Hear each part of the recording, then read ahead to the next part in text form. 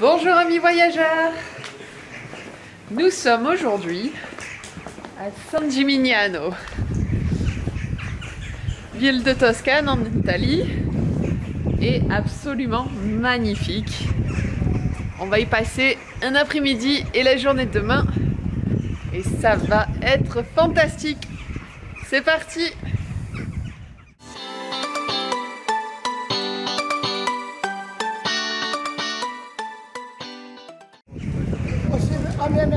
On vient de ressortir du Duomo, il est absolument magnifique. On a pu le faire grâce à un pass qui coûte 13 euros dans la, ville. Euh, ça vous donne accès au Duomo, à la tour principale et à deux musées. Voilà, et c'est valide deux jours, donc on va faire ça.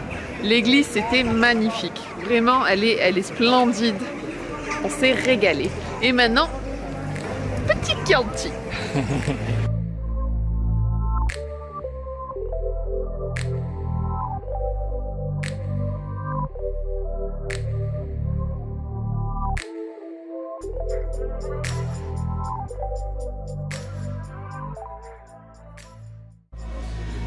On a changé notre Chianti pour un Venaccio, qui est censé être un vin de la région.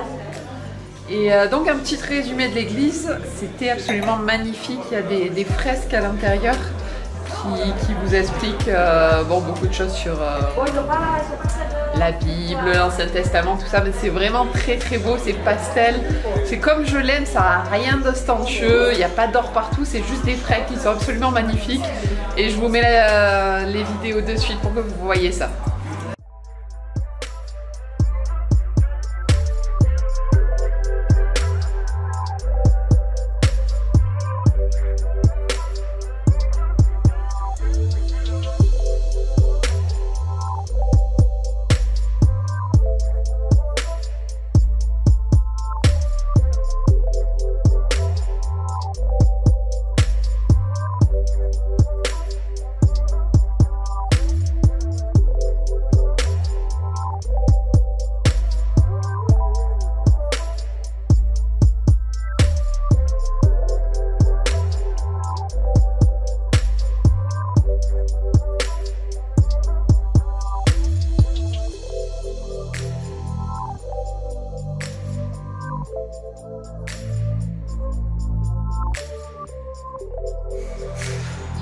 Nouvelle journée, on s'apprête à aller visiter la, tour Grosso.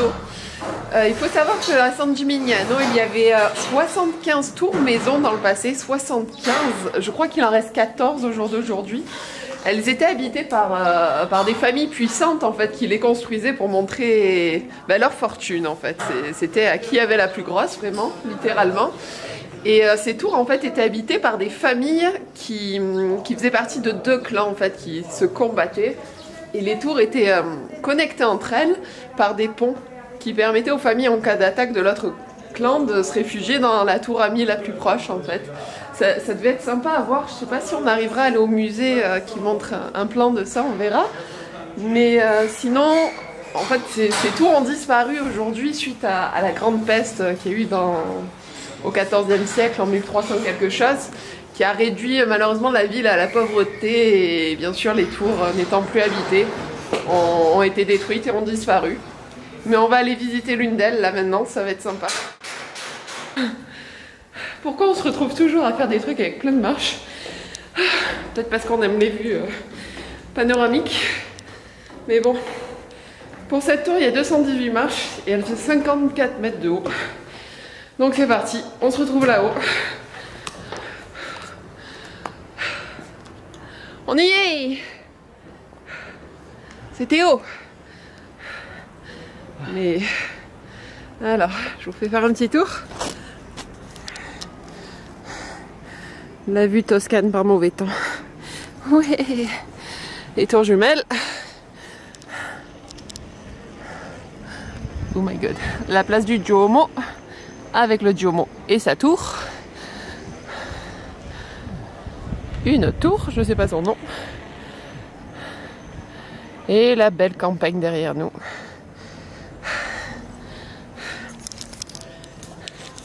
Petite correction donc sur la vidéo de tout à l'heure. J'ai vérifié, il reste 13 maisons tours actuellement. Donc certaines ont été changées en musée, mais certaines sont toujours privées, sont habitées. Regardez.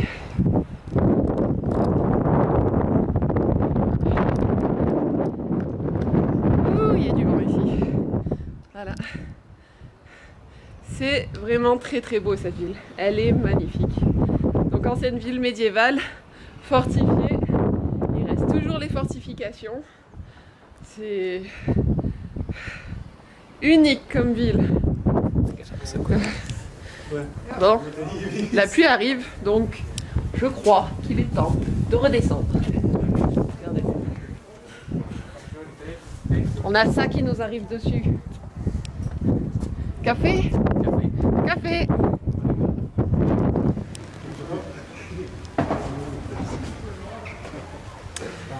On est venu s'abriter donc avec un petit cappuccino. Donc en attendant la fin de la pluie, une chose que j'apprécie vraiment dans cette ville, c'est pas trop touristique. Ce que j'entends par là, c'est il n'y a pas une boutique de touristes à chaque porte. On peut voir qu'il y a encore des locaux qui vivent ici. L'atmosphère est vraiment sympa dans cette ville. Et vraiment le, côté médiéval est parfaitement préservé. Chaque maison est intéressante à regarder. C'est ultra joli. Je sais plus quoi vous dire à part euh, bah, de venir. hein. Vraiment, cette ville vaut le coup. On peut pas finir un tour de San Gimignano.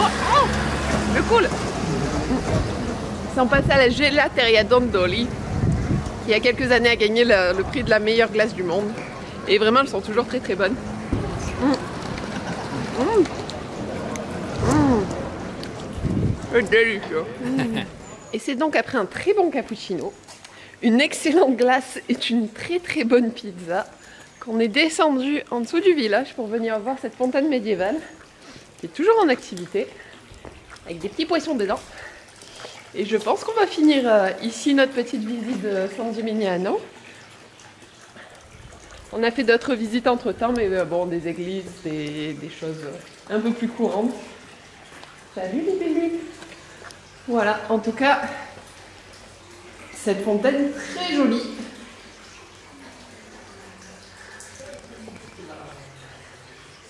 Allez, ciao